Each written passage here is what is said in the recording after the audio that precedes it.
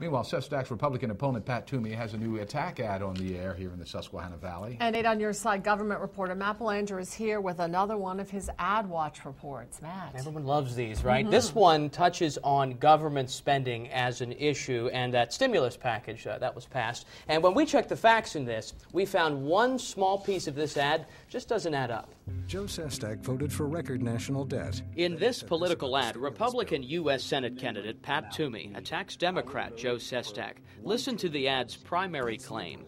Joe Sestak voted for record national debt. Then he said this about the stimulus bill.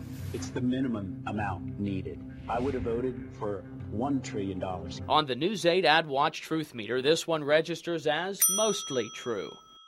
Eight on your side looked into Sestak's vote, and we found the congressman did vote yes, along with a majority of Democrats, to raise the limit on how much debt the United States can take on to $14.2 trillion.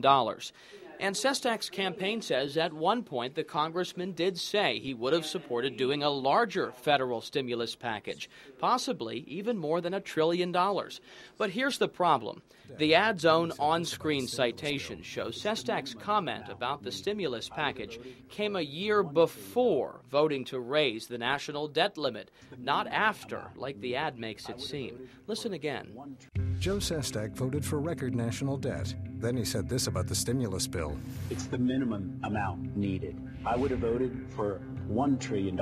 It may seem like a small detail, but the way the ad is worded could mislead viewers to believe Sestak voted to raise the national debt limit for the purpose of spending another trillion dollars.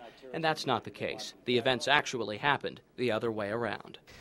Toomey's campaign says the sequence of events was not intentional in the ad, and they say the order shouldn't matter. And considering both candidates, Joe Sestak and Pat Toomey, have millions of dollars to spend, we're going to see more of these ads hit the air. And I, I like All your right. ad watch. All right, thanks. thanks.